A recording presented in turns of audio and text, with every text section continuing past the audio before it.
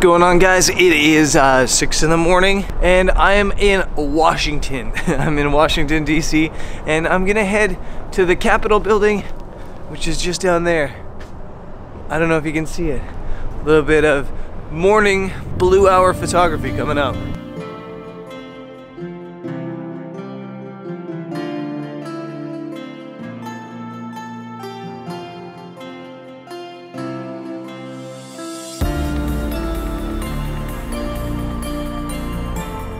So much like a lot of the locations I've been photographing on this trip from Phoenix across to uh, to New York City, I'm winging this. I've never been here before, and uh, I have no idea what I'm shooting, where, which location, or what angle, or what I want to do. But last night when we got in, I opened up Google Maps, and I just went and used Street View and I looked around at a bunch of different spots. And one of the things I look for when I'm photographing a location that I've never been to before is water. I like water because it gives me a reflection. It gives me something to put in the foreground. I'm always looking for water in my photos. And according to the map, there's some water right there. And according to reality, I'm on the wrong side of the road. So I'm gonna walk over to this water and probably use this to set up my shot. Hopefully maybe get some reflection of the Capitol building and who knows? Hopefully this turns out pretty well.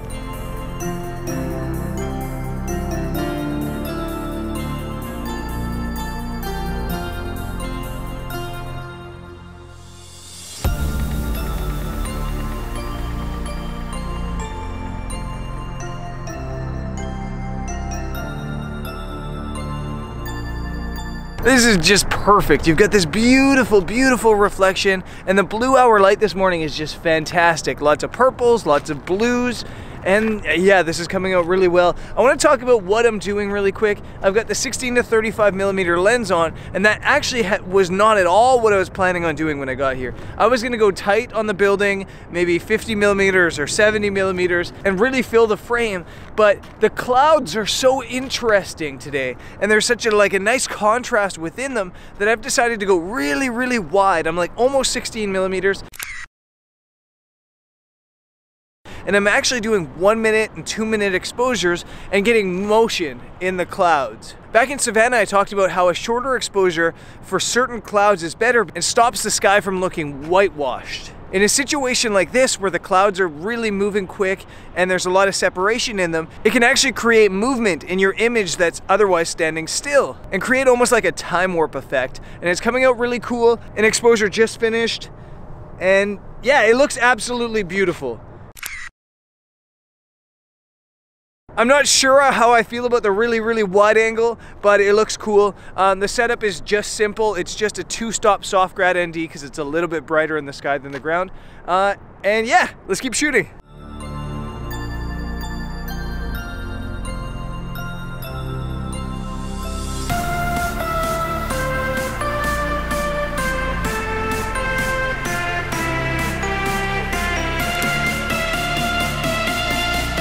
You guys ask quite a bit how I get the images so sharp. And I'm gonna tell you it's not anything fancy or anything special. It's like almost like a little bit of a formula to make sure that the image is as sharp as possible. So how do I get the images sharp? There's really like four things that you need to do. One is have a really, really good tripod. A lot of people I see out in the field with these really flimsy tripods and then they kind of seem frustrated when they can't get the shot. Get a good tripod, that's the first thing you need. The rest is all in the camera on the lens, shut off the image stabilization. Some lenses, if you're on image stabilization and the lens is still, it still creates a vibration and that can make your image less sharp. The next thing you need to do is turn the mirror lockup on on your camera. When your camera takes a picture, it's got a mirror so you can, unless you have a mirrorless camera, when you're looking through the viewfinder, you see two mirrors. One going that way, bouncing down that way, and then out through the lens so you can see what the camera sees through the lens. But when you take the picture, obviously the mirror has to be up so that the sensor can see what you're taking a picture of. And if you have the mirror down, when you press the shutter, it flips up. That's the snapping sound you hear in your camera.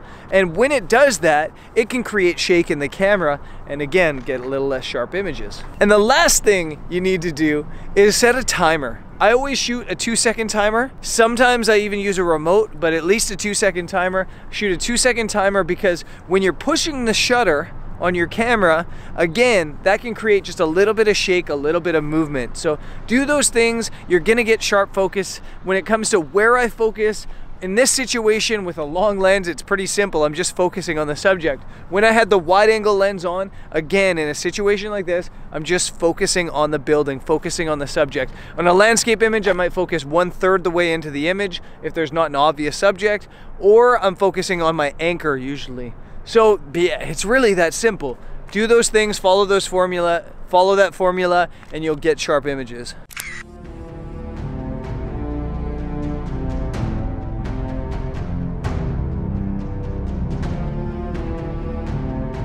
The light's gone a little bit bland after the blue hour. There tends to be like stages to light in a morning or sunset or anything. In the morning, you get this beautiful blue light early, and then it kind of goes bland and gray usually for quite a while. And then right at sunrise, that's when you tend to get all that color and crazy sky. I don't think I'm going to get all that color and crazy sky this morning because apparently there's an incoming storm. There's a storm coming in from the east, supposed to hit in like maybe a half an hour here. And I think that's just gonna block off all the sunlight. In fact, if I'm looking at the sky right now, there's this cloud moving all this way. It's about to come right over top of the Capitol building and hopefully not rain on me. Um, but instead of shooting some photos, I think it's time for a little bit of time lapse.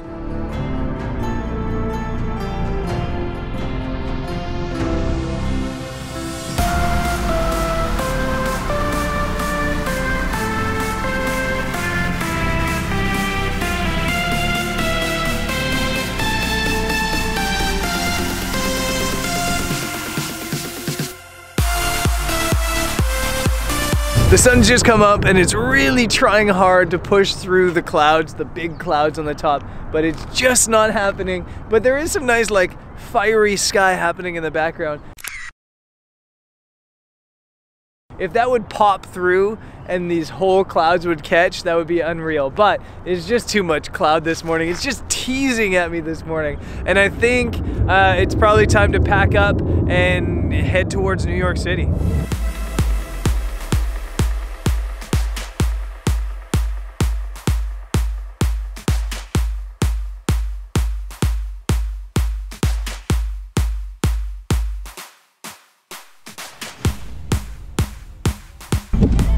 Delaware. Ready?